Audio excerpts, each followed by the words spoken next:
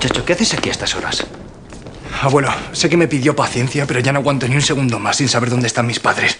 Hermano, yo también estoy igual, pero hemos de darle tiempo al tiempo. No, María, no. Tú no estás igual, no mientas. ¿Acaso insinúas que yo no me preocupo? No, no, estarás preocupada, no te lo negaré. Pero la incertidumbre que yo siento aquí yo no la veo en ninguna parte. Y en usted tampoco, abuelo. Bueno, vamos a calmarnos, por favor. Sentaos. Va.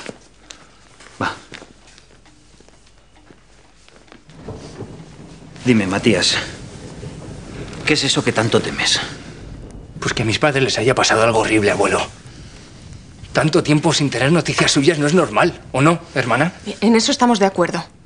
Pero no podemos ponernos en lo peor. Pero es que para mí ya es inevitable.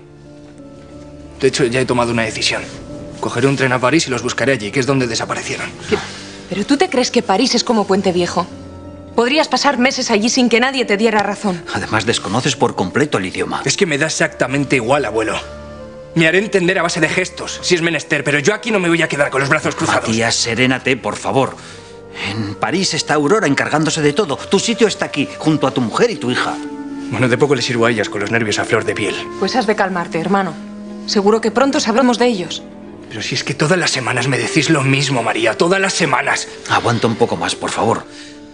Te aseguro que estamos haciendo lo imposible por aclarar esta situación. Me promete que la próxima vez me contará todo, abuelo. Por supuesto. Pierde cuidado.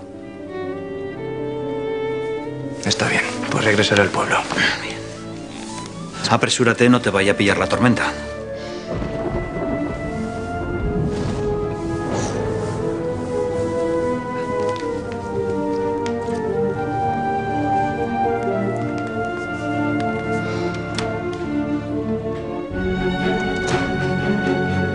No aguantará mucho más, abuelo. No, no lo hará.